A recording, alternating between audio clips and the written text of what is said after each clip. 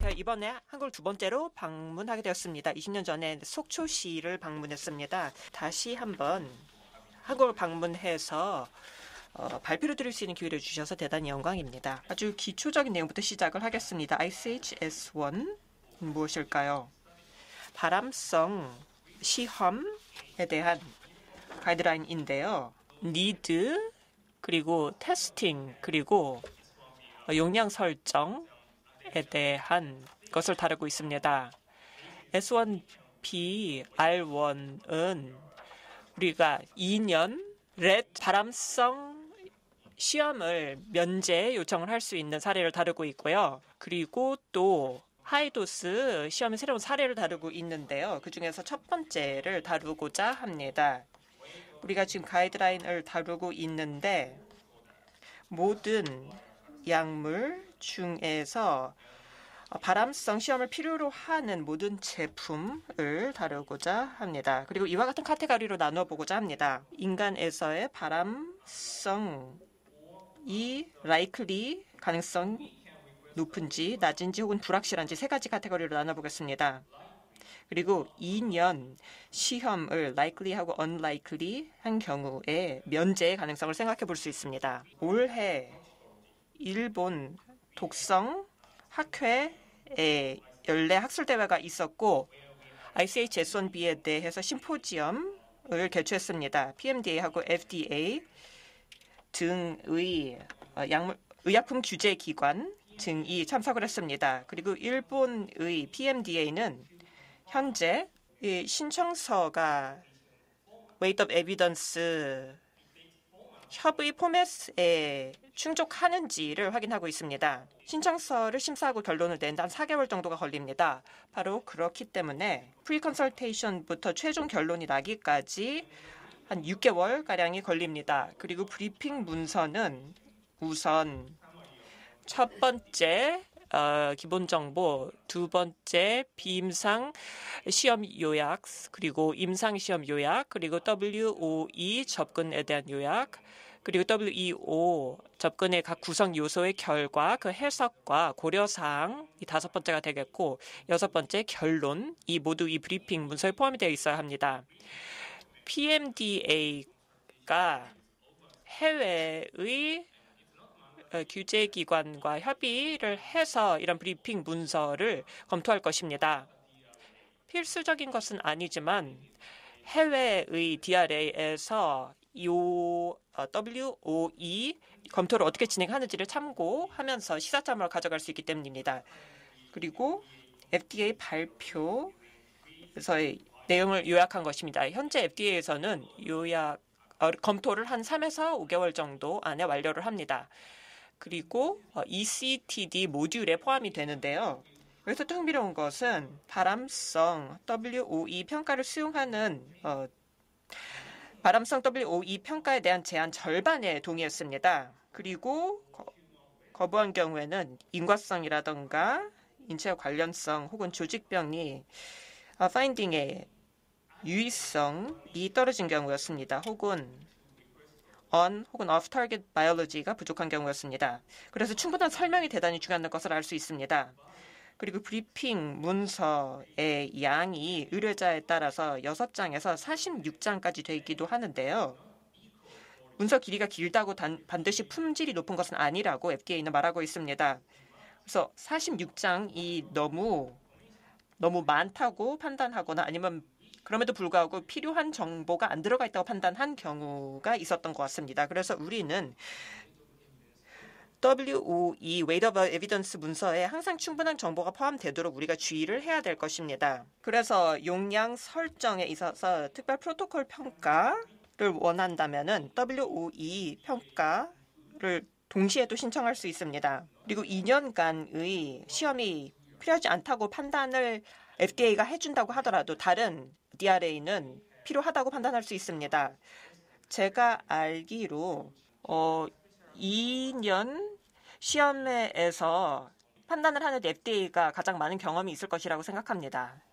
EMA에서는 저희 그 심포지엄에 참석을 하진 않았는데요. 최근에 commentary paper 논평을 공시했습니다.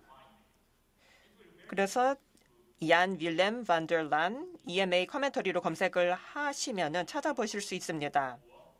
그래서 이 결정 문서의 이력을 보실 수 있고 또 WOE를 어떻게 적용하고 있는지를 확인하는 어떤 과학 자문 형식의 내용들을 참고하실 수가 있습니다. ICH 전문가 그룹 동료들이 이와 같은 문서를 작성을 했는데요. 이 컨소시엄에서 나온 내용입니다. 지금 장표상에 보시는 수치는 신청에서 최종 결론까지의 기간이 표기화된 것입니다. 3개월에서 6개월 정도 걸리고요. FDA는 면제에 동의한 것이 다섯 개 케이스가 있었다고 합니다. 그런데 앞서 말씀드렸다시피 FDA는 제출된 신청건의 절반 정도에 동의를 했다고 합니다. 그래서 다섯 개 면제 허가를 했다면은 이제 50%를 허가한 거니까 50%를 허락한 거니까 다섯 건은 또 거절을 한 것이죠. 그리고 또 PMDA는 FDA하고는 이 허락 이 모든 건에 있어서 일치하진 않았습니다. 그래서 50% 글로벌한 관점에서 봤을 때는 50%가 안 될 가능성이 있죠. S1BR1 가이드라인을 도출하기 전에 전향적인 연구를 통해서 우리가 2년 시험의 결과를 정확하게 예측할 수 있는지를 확인하려고 했습니다. 그래서 의뢰자들이 인체 어, 바람성이 언라이클리한 것으로 31건을 제출했는데요. 모두가 동의했던 건은 12개밖에 되지 않았습니다. 그리고 또 unlikely라고 의뢰자가 예, 제출했던 경우를 모두 거부했던 사례도 있었습니다. 그래서 만장일치로 동의를 할 가능성은 39%밖에 되지 않았습니다. 그래서 실제 상황에서는 결론이 이렇고요. 시뮬레이션을 해보면은 만장일치가 50%도 되지 않습니다. 다음 장표부터 사례를 보여드리겠습니다. 2년 rat 시험이 필요하다고 결론을 내리게 되면은 3개월의 rat study가 종료되면은 바로 시작을 할 수가 있습니다. 그 결과를 활용할 수가 있는 것이죠. 보시다시피 6개월 rat study를 2년 rat study와 동시에 진행을 할 수 있는 것이죠. 그래서 6MR study가 종료되면은 일부 의뢰자는 FDA에 가서 아, high dose 결과를 보여줄 수가 있는 것입니다. 그런데 2년 rat study가 불필요하다고 결론을 내리면은 DRA에 가서 WOE의 6개월 rat study의 조직 병리 결과를 같이 제출해야 되는 것입니다. 그래서 6개월 rat study를 완료를 하고 모든 DRA에 어, 시판 허가를 신청하고 그 모든 과정을 거치기까지 1년 정도가 걸립니다. 근데 현재 만장일치로 WOE 평가에 동의할 가능성은 한 50% 정도 됩니다. 그래서 면제 신청을 하고 나면은 신청을 했어도 의뢰자의 50%는 2년 rat study를 진행해야 되는 것입니다. 그래서 2년 rat study가 1년 정도 그 시작이 지연될 수도 있습니다. 그래서 모든 DRA가 규제기관이 어, 이 그 만장일치로 동의를 할 가능성이 아주 높진 않다는 점을 감안해야 됩니다. 그래서 2년 레트 스터디 면제를 신청하려고 할 때에 그 의약품 라벨링을 고려해야 합니다. 인체 발암성이 unlikely 하다고 하면은 이용 가능한 독성학 데이터와 XX 그 약물 특이 표적에 대한 종합적인 평가에 따르면 화합물 약물 X는 인간의 발암성이 없을 것으로 예상됩니다라고 labeling을 하는 것입니다. 그런데 likely 한 경우에 2년 rat study를 진행하지 않았을 경우, 수행하지 않았을 경우에도 labeling에다가 2년 레트 연구를 수행하지 않았습니다. 이용 가능한 독성학 데이터와 XX 약물 특이 표적에 근거해서 장기 A, 장기 B, 장기 C 등등 각각의 장기를 모두 수재하는 접근을 취해야 합니다. 좀 보수적으로 가야 되는 것이죠. 그래서 이런 장기들의 인체 발암 위험성이 예상됩니다라고 기록을 해야 되는 것이죠. 기재를 해야 되는 것이죠. 그래서 이런 걸 생각했을 때 2년 rat study를 수행하는 것이 더 낫습니다. 그래서 이 여섯 개 weight of evidence factor를 보게 됐는데요. 어, 표적 바이올로지 2차 양리 어, 조직병리 만성 스터디 호르몬 효과 그리고 또 어, 유전 독성 그리고 면역 조절 등 이 여섯 가지를 다른 슬라이드에서 설명을 드릴 테니까 잠시 기억을 해주시기 바랍니다. WOE 접근 기준으로 likely인데 인체 발암성이 likely인데 인체 발암 위해 가능성이 높은 것으로 판단된 시판 의약품들입니다. 여기서 드러그 1하고 2가 여기 어, 타겟팅하는 양리 효과가 안드로겐 합성인데요. 전립선 암을 이를 적응증으로 하는 약입니다. 그래서 호르몬 작용을 하는 약이죠. 안드로젠 뿐만이 아니라 다른 호르몬에도 영향을 미칩니다. 그래서 WOE 두 번째가 PUC가 되어 있습니다. 그리고 어, 호르몬에 민감한 장기라던가 아니면은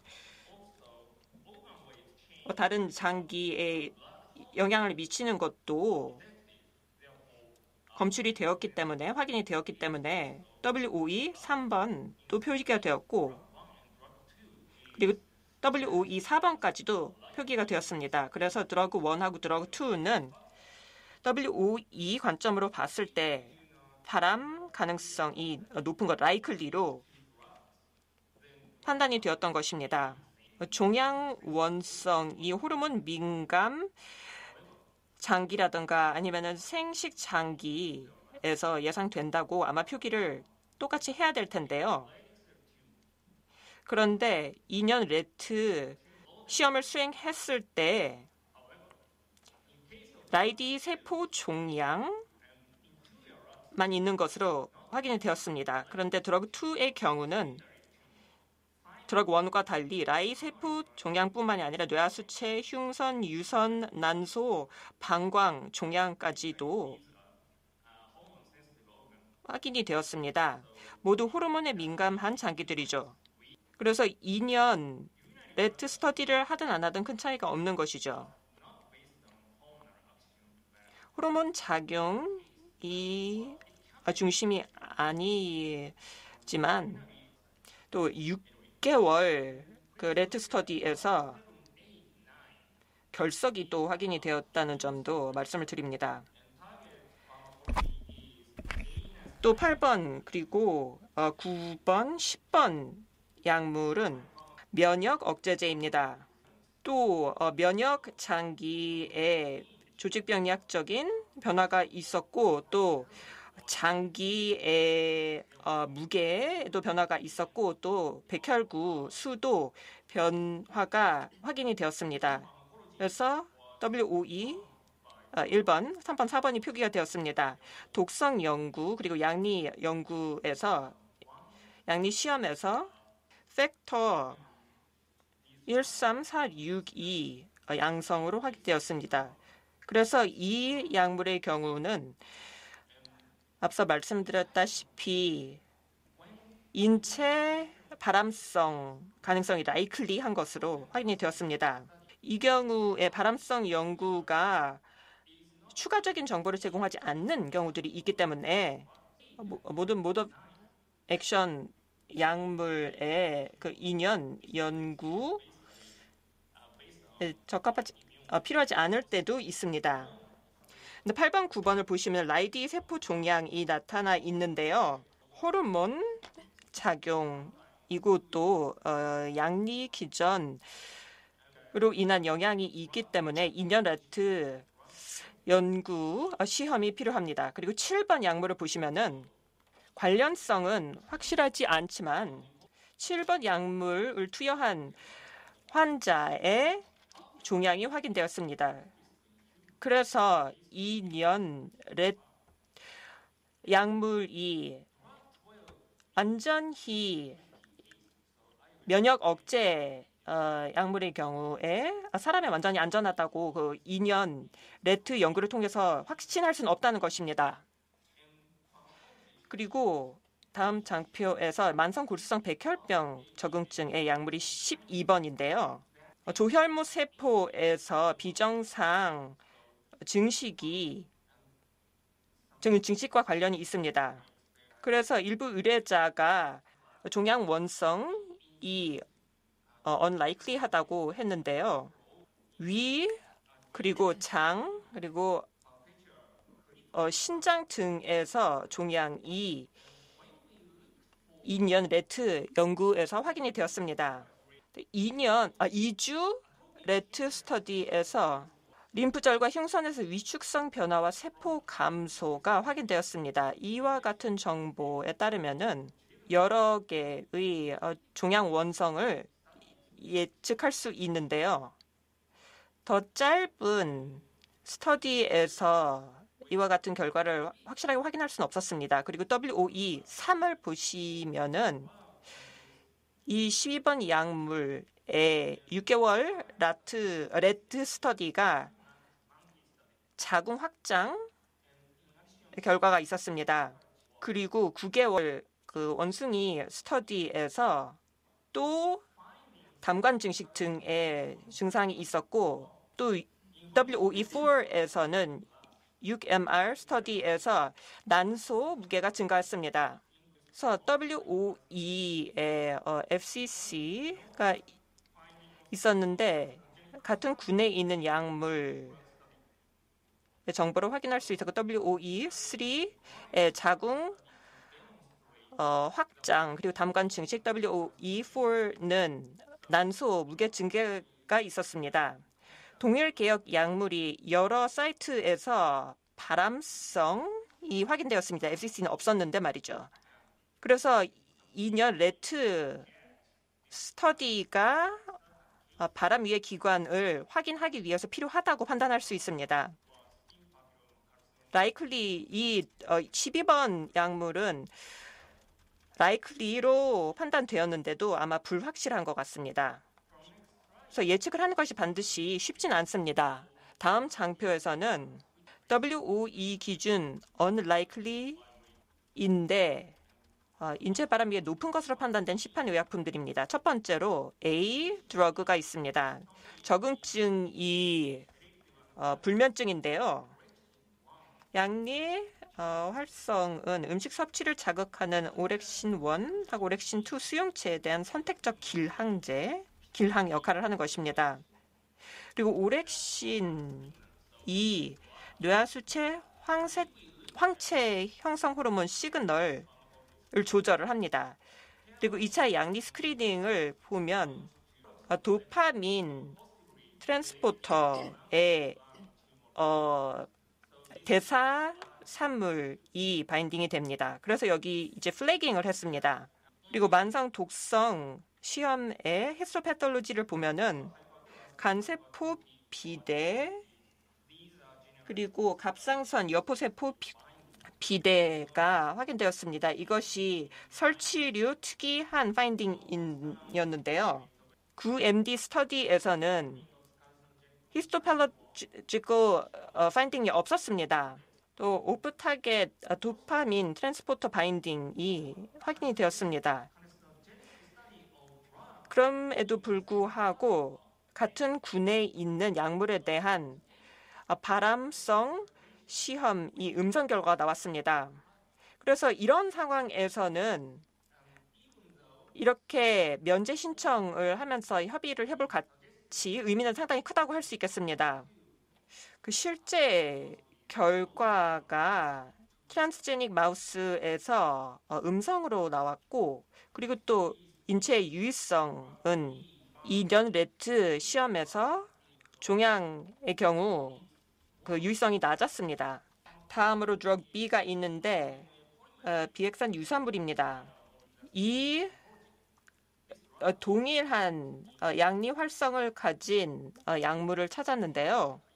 어, 핵산 유형인데요. 어쨌든 타겟 그 pharmacology가 동일했고 또 2년 rat 2년 어, mouse study에서 음성 결과가 나왔습니다. 그리고 GALT 장간막 림프, 림프종에 아, 약간의 아, 단핵 괴사가 있었습니다. 그리고 소장의 어, crypt 상피 세포 사멸하고 증식 그리고 간 무게 증가, 간세포 비대 같은 것이 확인이 되었습니다. AUC의 경우 79배로 crypt 상피 세포 사멸이 있었는데요. 또 어, 백혈구 그리고 어, 림프 세포가 약간 줄어들었습니다. 네, 개와 인체에서는 어, 이와 같은 에비던스가 확인되지 않았습니다. 그래서 이와 같은 사례에서는 FCC로서 어, 바람 우려 파인딩으로서 장증식 림프철 단일 세포 괴사가 있었고 또 백혈구 감수가 있었지만 AUC 마진은 한편으로는 충분했습니다. 사람과 개에서는 관련된 변화가 발견되지 않았습니다. 근데 또 유사 약물에 대해서 바람성 연구는 음성으로 나왔기 때문에 이렇게 면제 신청을 해볼 만한 가치는 상당히 높습니다. transgenic mouse study 그리고 간세포 선종 어, 2년 rat study에서의 실제 결과는 음성이었는데 또 인간 관련성이 낮았습니다. 이제 drug C입니다. 이형 당뇨병 치료제인데요. DPP4 억제제입니다. 당뇨 치료제 중에서 굉장히 흔한 기전이라고 할 수 있는데요. 같은 약물군에 다른 약물들이 또 굉장히 다양합니다. 드럭 C1은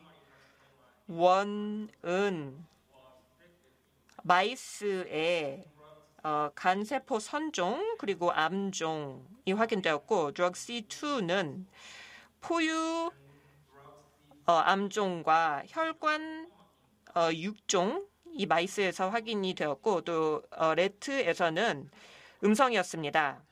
그리고 여러 어, 약물에 있어서 종양 원성은 어, 음성이었습니다. 그런데 이 targeting 되는 장기가 일관적이지 않기 때문에 이 종양 어, 원성이 어, 약물 특이적이라고 볼 수 있겠습니다.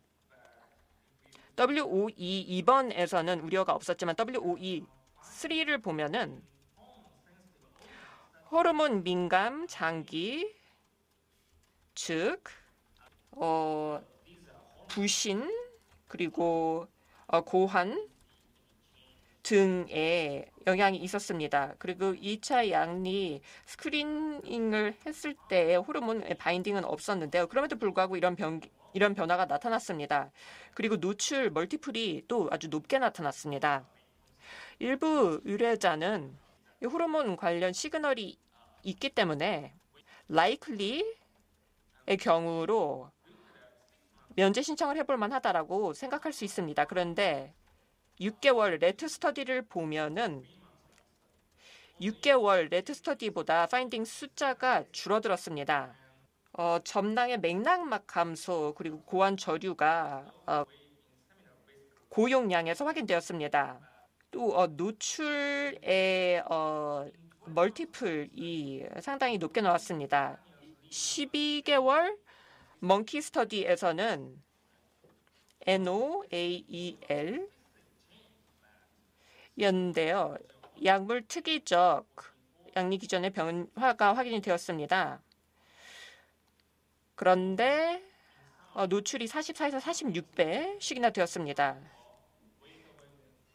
그래서 WOE 3번하고 4번 이 어, 종양 원성이 우려가 되었습니다. 그리고 또 호르몬 민감 장기를 관찰하는 것이 의미가 있었는데 어, 마진, AUC 마진은 충분했습니다.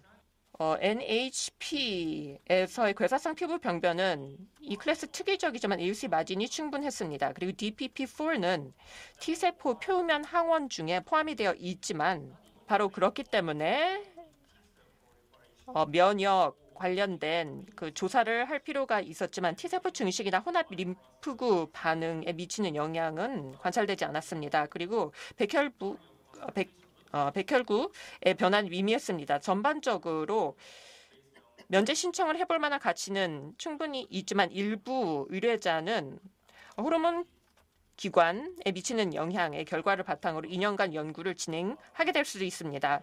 그런데 어, transgenic mouse하고 2년간의 rat 시험에서의 실제 결과는 음성이었습니다. 어, drug D는 어, hyperphosphatemia 치료제고요. First in class입니다. phosphate 수준을 정상화하게 되면은 종양 원성이 낮아집니다. 그래서 이런 약리 기전 때문에 종양 원성이 나타날 것이라고 예상되지는 않습니다. 하지만 같은 약리 기전을 사용하는 그 약물의 경우 흡수성 약물의 경우는 또 저희가 확인을 해볼 필요가 있었습니다. drug D1, D2, D3 모두 그 어떤 다른 효과들이 있었습니다. drug D는 mice 어, 결장에 있어서 adenocarcinoma 어, 위선 종양이 있었고 그리고 drug D2는 방광 어, 세포 유두종이 있었습니다. 그 drug D3는 어, 위선 종양 mice에 나타났고 rat는 어, 음성이었습니다. 그리고 이 약물의 경우 2차 약리 screening을 수행하지 않았습니다. 흡수성이 아니었기 때문인 것으로 보이고요. 그리고 6MR 스터디 그리고 9MD 스터디에서는 파인딩이 없었습니다. 그럼에도 WOE4는 표기가 되어 있는데요. EFD 스터디에서 골화가 지연되고 또 어, 인컴플리트했던 경우가 있었습니다. 그리고 EFD 토끼의 EFD의 경우 임플란테이션 이후에 사망이 증가하는 것을 확인했습니다. 그래서 정리를 하자면은 FCC로서 태아 골화 그리고 사망률 지연이 있었습니다. 이는 인산염 결합으로 인한 것으로 볼 수 있는데요. 혈중, 칼슘이나 부갑사선 호르몬 수치에는 변화가 없었습니다. 그 다른 흡수성 인산염 결합제 발암성 정보는 관련성이 낮다고 볼 수 있었습니다. 흡수성 여부 그리고 그 표적 장기 간의 일관성이 없기 때문입니다. 그런데 흡수성이 없다고 하더라도 장내 pH 그리고 미네랄 재흡수에 영향을 끼칠 수 있고 결국 내분비 교란을 유도할 수 있습니다. 그래서 어, 비흡수성 약물이라고 하더라도 약이 효과가 있다면은 독성이 있을 수 있습니다. 그래서 어, 시스템 노출이 낮다고 하더라도 그렇다고 안심해서는 안 됩니다. 면제 신청을 해볼 만한 가치는 있다고 볼 수 있습니다. 그런데 의뢰자는 unlikely case로 이것에 대해서 면제 신청을 하기 위해서는 종합적인 고려가 필요합니다. 그리고 실제 시험 결과는 transgenic mouse하고 2년 rat 연구에서 음성으로 확인되었습니다. 그리고 오늘 제 발표의 핵심 그 요지를 말씀드리겠습니다. I CHS1B 어, 리비전 1을 통해서 의뢰자는 2년 임상시험 면제를 요청할 수 있습니다. 현재 면제 요청의 전체 성공률은 50% 이하일 수 있습니다. 그래서 WOE (Weight of Evidence) 평가가 과학적으로 충분하고 적절한지를 확인해야 합니다. 제품의 발암 위험이 있는 것으로 간주될 경우에 약물의 발암 위험이 있는 것으로 간주될 때에 면제 신청을 해볼 만한 가치는 아웃컴의 잠재적 결과하고 약물의 라벨링 설명 간 그 두 가지를 고려를 해서 판단을 해야 합니다. 발암 위험 가능성이 unlikely한 약물의 경우는 의뢰자는 만장일치 동의를 받을 가능성이 라이클리한 사례보다 낮다는 점을 인지해야 합니다. 왜냐하면은 어, 독성을 인정하는 것보다 독성이 없다고 주장하고 그 근거를 대는 것이 더 어렵기 때문입니다. 그래서 독성 학자들은 각 어, 의약품별로 FCC 아, 바람 우려 파인딩에 따라서 각 WOE의 바람 우려 파인딩 에 따라서 각 제품에 대한 최선의 경로를 신중하게 선택해야 됩니다. 네, 도움 주신 분들 장표에 표시했습니다. 경청해 주셔서 감사합니다.